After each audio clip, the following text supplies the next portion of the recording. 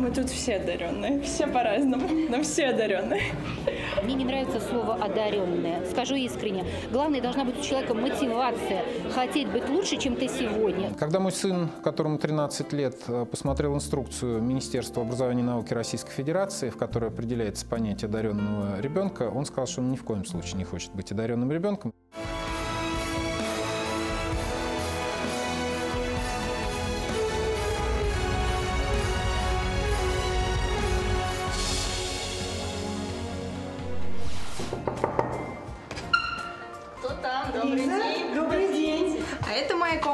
Здесь я живу, сплю, делаю уроки, домашние задания, изучаю науку. Также можно пригласить друзей, поиграть на гитаре и устроить теплый э, лицейский вечер.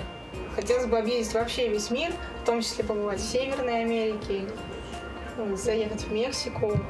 Всегда хотела съездить в Бразилию, в комнате у Елизаветы словно в каюте космического корабля. Здесь хорошо делать уроки и мечтать, представляя себя высоко над землей на орбите МКС. Над океанами – фотография Юрия Усачева. В свой первый космический полет он работал борт-инженером в составе 15-й основной экспедиции на космической станции «Мир». Каждая встреча с космонавтом – это открытие чего-то нового. Это человек, который побывал не только на нашей планете, но и куда-то выше поднялся. Он видел больше, он знает больше, он чувствовал больше.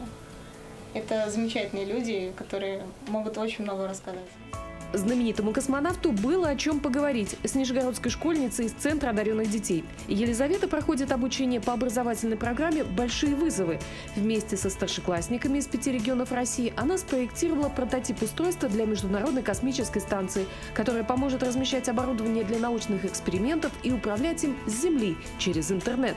Мой день проходит очень загруженно, то есть мы, у нас э, подъем в 7 часов утра, в 8.30 уже начинается учеба до 2 часов, то есть мы полностью погружаемся в уроки. А далее у нас либо есть свободное время, мы можем погулять, либо сходить в спортзал, либо сходить на какой-нибудь кружок, либо у нас какой-нибудь факультатив. Это жутко интересно, это очень расширяет наш кругозор, э, увеличивает наш потенциал, и мы видим в где мы еще можем себя реализовать.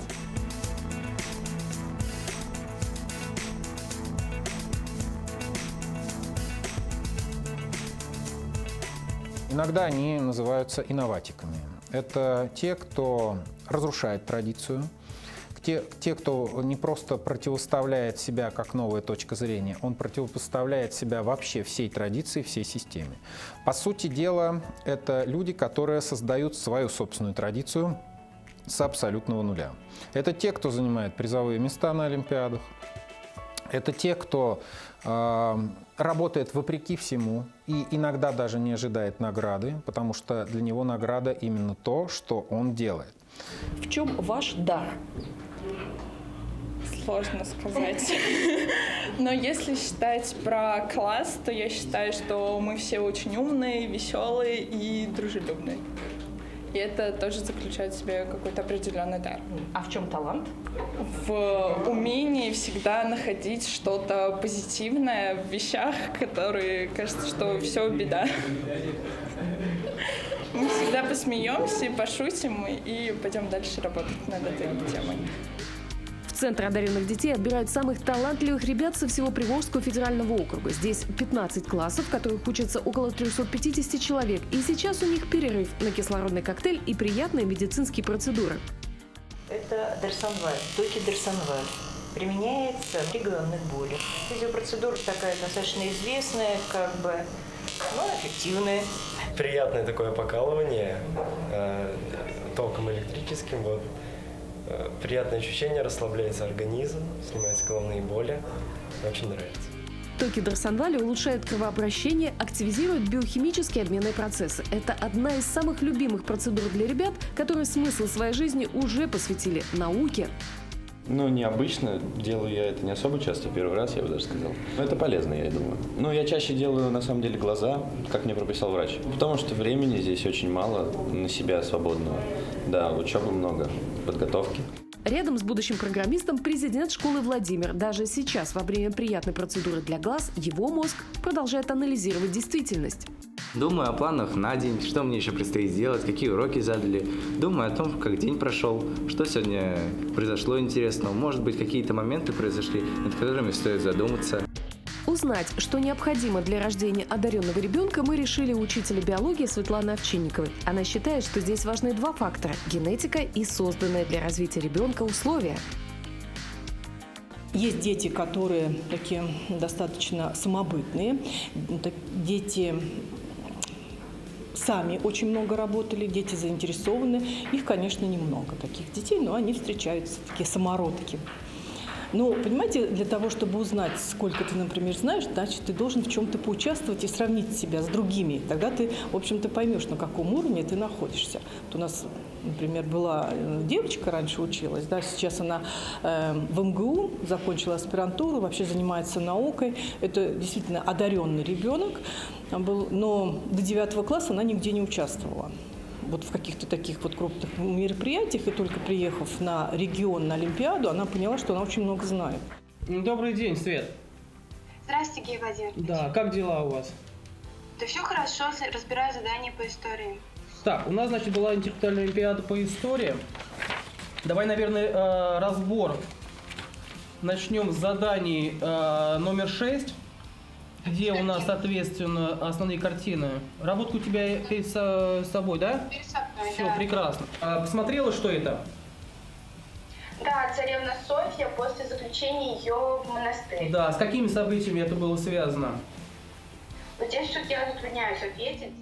Светлана пока учится в одной из нижегородских школ, еще только мечтает в 10 классе пройти конкурс и попасть в Центр одаренных детей. Для этого она записалась на курсы дистанционного обучения. С их помощью учителя, как и преподаватели вузов, которые сотрудничают с лицеем, отбирают через систему конкурсов и олимпиад самых талантливых ребят из 8-9 классов. Для меня это первый опыт, я никогда не пробовала раньше проводить такие задания. Занятия, ну, в принципе, да, удобно, интересный опыт. Ну, одаренность это вообще вещь таинственная, поэтому иногда кажется, что да, вот он одаренный ребенок, а совсем оказывается наоборот.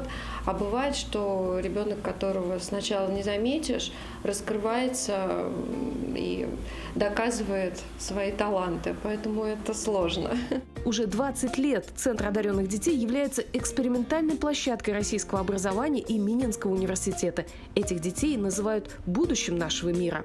Когда мой сын, которому 13 лет, э, посмотрел инструкцию Министерства образования и науки Российской Федерации, в которой определяется понятие одаренного ребенка, он сказал, что он ни в коем случае не хочет быть одаренным ребенком и таковым не является, потому что это э, ситуация очень жестких ограничений и жесточайших требований. Человека невольно туда вписать не просто нельзя, не нужно. Это будет э, насилие над личностью. У меня такое ощущение, что вот, знаете, у нас нет неспособных детей. Они каждый хороши в своих направлениях. Директор лицея Ирина Валерьевна из учительской династии. Она восьмой педагог в семье. Вместе с коллективом единомышленников ей удалось создать в лицее неповторимую атмосферу дружеской поддержки между ребятами. Представляете, как сложно учиться тем, кто по праву считает себя одним из лучших? Поэтому важной школьной традицией стало еженедельное чествование как победителей конкурсов и олимпиад, так и творческих команд, которые работают над одним проектом.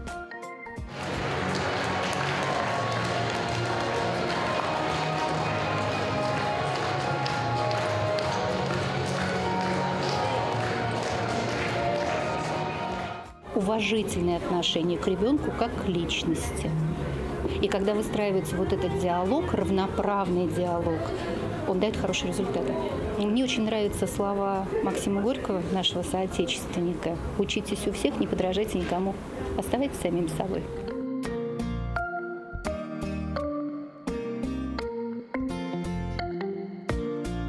Считаете ли вы себя одаренным ребенком? Ну, на самом деле нет. Но я считаю, что я обычный человек, умный, ну, для, для своего возраста. Поэтому попал сюда. Здесь учатся обычные ребята. Слово «одаренный» очень размыто, и это очень громко сказано. Да, у нас центр одаренных детей, да, мы тут все одаренные, но когда мы находимся среди одаренных детей, каждый из нас по-своему уникален, но не сказать, то, что мы чем-то отличаемся от других. Вы одаренный ребенок? Ну, если учесть, что у меня первое образование вообще-то высшее техническое, а я работаю медицинским работником в течение 20, 20 лет, наверное, что-то, может быть, что-то в этом и есть. Но вообще я человек скромный. Я не думаю, что я прям одаренный, одаренным ребенком была. Я была наверное, трудолюбивым ребенком и интересующимся. Как ты считаешь, ты одаренный ребенок? Это довольно сложный вопрос. Возможно, в чем-то у меня есть какие-то особые таланты. Я закончила 7 лет в музыкальной школе, сейчас тоже продолжаю заниматься. Возможно, это вот один из моих талантов, а другие мне еще предстоит раскрыть в будущем.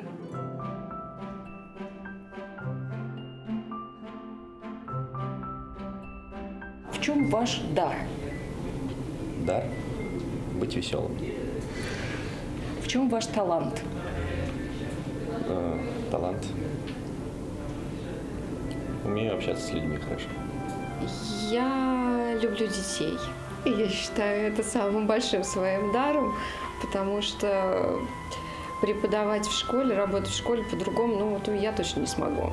Мой личный дар, наверное, в том, что у меня неплохая память, и я могу воспроизвести разные события, которые когда-либо происходили.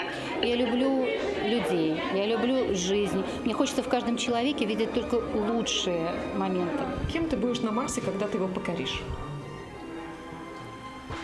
А покорю ли я Марс? Тут уже надо думать, кем я буду на Марсе. Главным конструктором марсохода.